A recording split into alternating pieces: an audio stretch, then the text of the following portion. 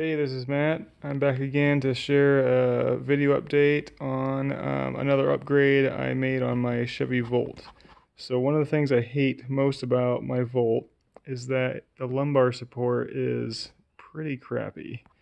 Um, I'm going to show you what I did, and um, it's very simple. Uh, anyone can really do this, and um, and it improves the uh, the ride quality and comfort uh, quite a bit. So here's my driver's side seat, and this is where I put the lumbar support in. Um, I don't know if you're going to be able to catch that, but it's bulging out quite a bit um, compared to the passenger side. So here's the passenger side, and back to the driver's side.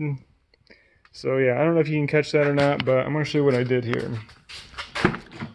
So I took off the back cover and I literally put in a piece of wood. So I've got some lumber for my lumbar.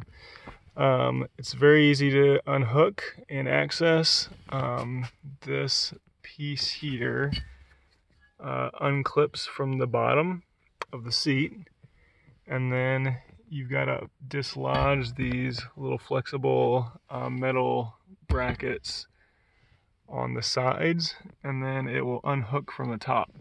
So those metal brackets, um, you know, clip on to, to the metal framing of the seat. So once you dislodge that, the whole back cover just pops right off. Um, I put the piece of wood in long ways and then kind of twisted it and slid it down as far as I can get it. So it would uh, um, push out the lumbar part portion of the seat.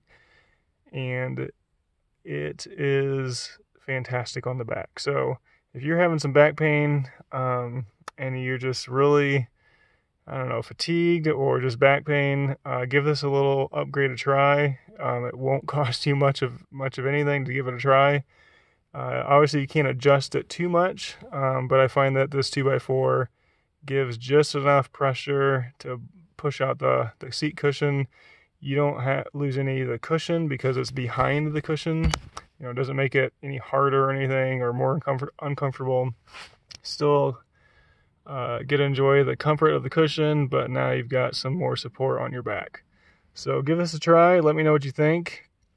And um, yeah, so share share your uh, feedback down below on the comments. Leave a question, and don't forget to like, subscribe, and share. Thanks. Bye.